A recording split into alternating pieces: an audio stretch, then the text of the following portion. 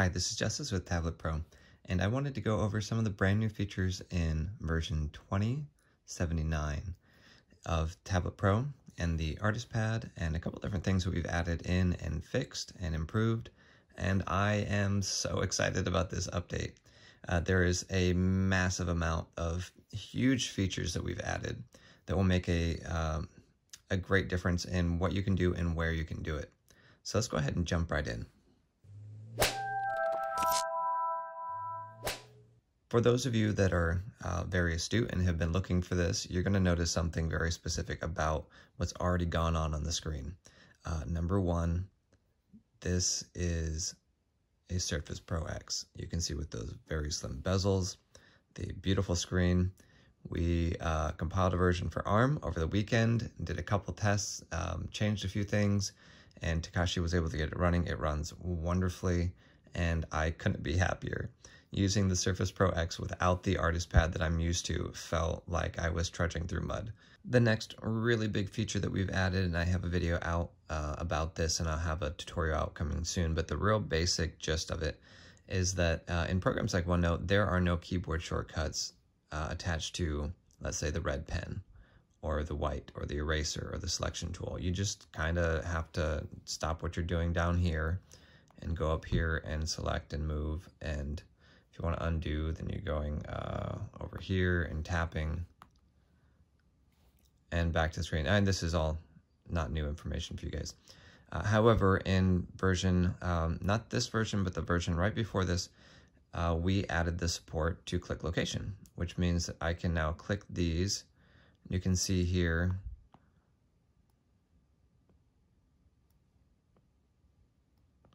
how quickly I can switch between the different tools and delete, restore, undo. Uh, restore is not actually a function, but uh, this is really, really cool, and this makes a lot of different things a whole lot easier. Uh, and I'll mention again, I'm using the Raphael 520 stylus. It's a two-button stylus. It's magnetic, which on the Surface Pro X actually goes on this side. Um, but uh, it has the eraser button here on the side, which is why I'm mentioning it, because you can't do that with the regular stylus. So in the layout editor, how does that look? Uh, I'm just going to show you this quickly before we actually go into details on how to do the rest of this. Uh, so let's say, or we're just going to select this one right here. Select this. Uh, down here, there's a click location. And what this does actually is it changes whatever button this is. Instead of having to figure out uh, all sorts of other things or change the layout that you currently have, let's say you have undo, set to control Y, but you actually just wanted to click a location. If you click here, it just changes the function. You add the location and it sends a left click wherever on the screen you want, which in OneNote would be this location right here. And so in order to do that, um, we've added some functionality to the pen tool so that you can just press uh, Alt-X and that will, uh, when the um, get pixel location function is selected in the pen tool, you can just put the mouse pointer or the pen over the location and you can tap on the screen. Uh, there's problems, by the way, with the Surface Pro 7 and Surface Pro X with the pen tool, so it's currently not working on this computer. But you can use a mouse to do the same thing and use the keyboard short Alt-X, or you can find a program that will get the location of a pixel on the screen. So that said, um, you would just put the location right up here. This is 00, zero. This is the full resolution of your screen and the left number moves higher as you go from left to right and the right number moves higher as you go from bottom or from top to bottom. Uh, I think that should make sense. There's going to be two numbers here. So uh, for instance, if we select one here, 841, 157, 157 is telling us 157 pixels down from the top and 841 pixel, pixels from the left side. So, and in this situation, that would be this button right here. So we're gonna go to fontawesome.com slash icons. And we're gonna click on this right here. And this is going to just give us the option to um, click here to copy that icon. I'll click on free. And then right up here, you just type whatever icon it is that you wanted. Uh, so let's say uh, we wanted one on death, an ever popular topic. And you can see right down here, we have Skull and Crossbones, Book of the Dead. Um, I like that it includes a meteor. That's good to know. All right, so we're going to select the meteor glyph, um, and then we're going to go back uh, over here to the icon picker. And down here, we're just going to paste it.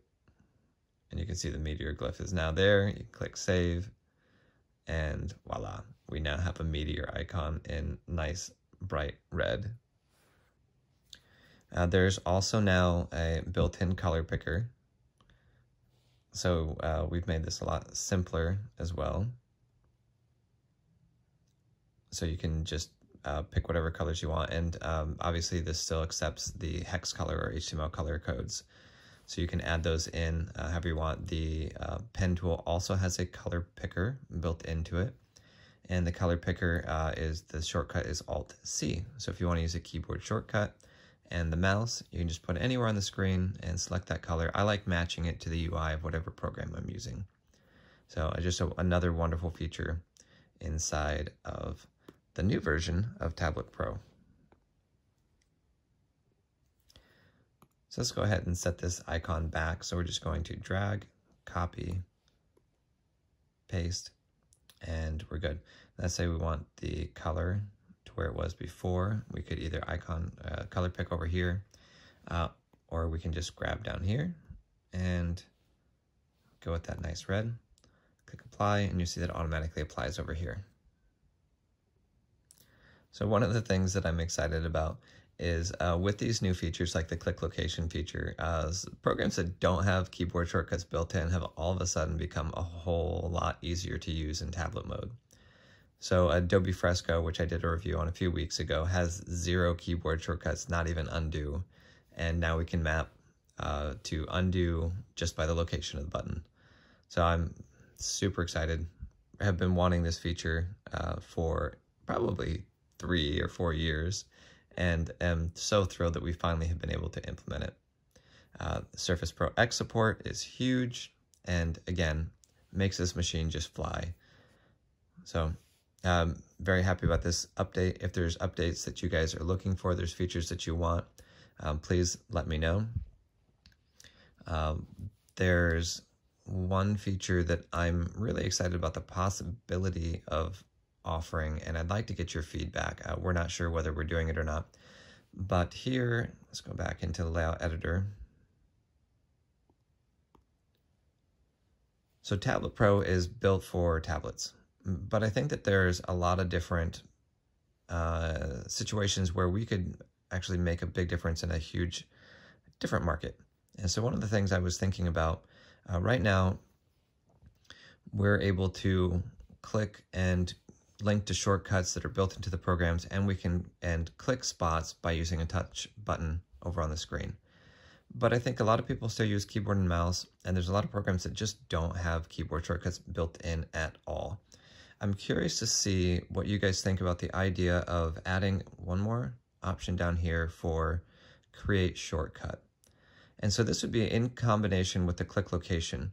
So let's say you're using a program and it has uh, three or four buttons that just don't have keyboard shortcuts built in. So you're, you're having to constantly move the mouse up to a certain spot on the, on the UI to click it or go into a menu. And you really wish that there was just a way to get the developer to add a keyboard shortcut for that option. Um, what if we just added an option down here to put in your own keyboard shortcut? You'd enter what it is, and uh, either that or just selecting it from up here and, and a tab that says make keyboard shortcut. And it would click on the location that you wanted with the keyboard shortcut up here that you select. So I would hit, this is a terrible one, but Control Shift Alt Space, and that would click whatever location on the screen I was trying to click. Let me know if that's a feature that you would be interested in and uh, what other features you guys want with Tablet Pro. I'm excited, very excited to hear from you and so thrilled about this update. I hope you guys love it. Uh, if you haven't yet, it would be a massive way to say thank you uh, by rating us in the App Store. Uh, right now we're sitting at, I believe, just a little under a four-star rating. And uh, we've done a lot of different things to improve the software, as well as include all of these, by the way, in this update, all of these beautiful artist pads are now included uh, stock, so they're not a separate download. So when you go to load it, you should be able to find these immediately without uh, a separate file or having, again, to uh, download uh, any of these separately. So if you would, please uh, rate us in the uh, Windows Store. I'll put the link. Uh, actually, I will pin the link at the top of the comment section as well as putting it in the description. Uh, this program, by the way, is $25.99 for the full suite. That includes all of our tools. Um, and there's just two people who are developing it, is myself and Takashi. We both have small families, and um, it's a tiny company. And we would greatly appreciate your support, and uh, that support goes into further development, as well as taking care of our families. So thank you again for everything. You guys are a wonderful community to serve. I hope that you guys have a wonderful day. And until next time, stay creative.